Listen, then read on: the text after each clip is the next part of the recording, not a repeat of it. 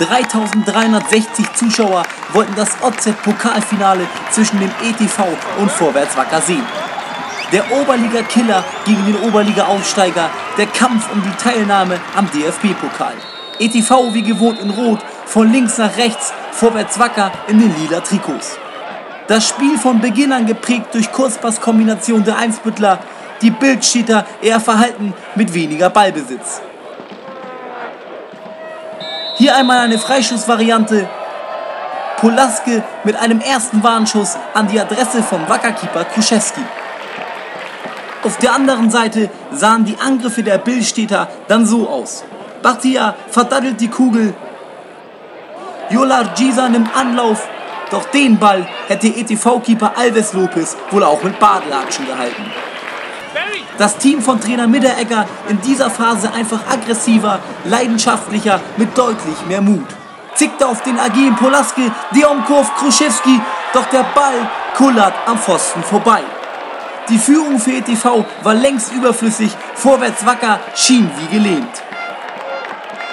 Der ETV hatte die Partie im Griff, da blieb auch ein wenig Zeit für die Trickkiste.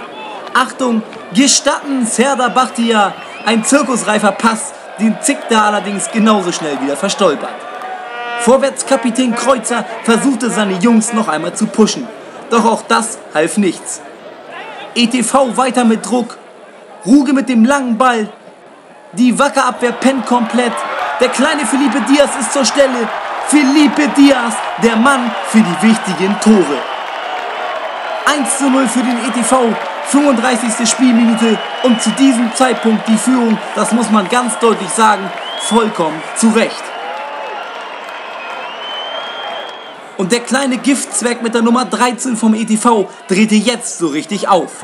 Verunglückter Schuss, Felipe Diaz ist da und trifft wieder. Doch Schiedsrichter Henkel zeigt es gleich an. Abseits in dieser Situation, richtig erkannt vom Unparteiischen. Zweite Halbzeit, vorwärts wacker, plötzlich agiler. Die Billstädter agierten nun vermehrt mit Langbällen in die Spitze. Der Schuss von Ivosa ein kleines Lebenszeichen. Langsam wurde es ein Pokalfight. Vorwärts Wacker versuchte es jetzt mit Standards, denn die Zeit lief davon. Der Freistoß von Kreuzer zischt hier nur ganz knapp am Freund und Feind vorbei. Wenige Minuten später versucht es der Vorwärtskapitän noch einmal.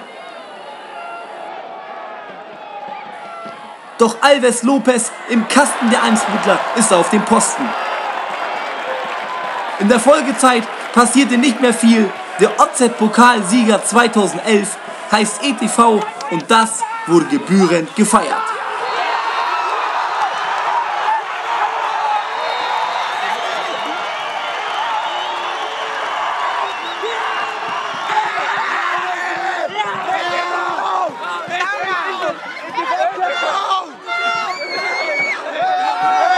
Ich bin überglücklich. Ich habe nie daran gezweifelt, nie daran gezweifelt, dass wir nicht gewinnen. Ich war mir so sicher, dass wir heute gewinnen. Und dann haben wir sogar sind wir in Führung gegangen. Besser geht's nicht.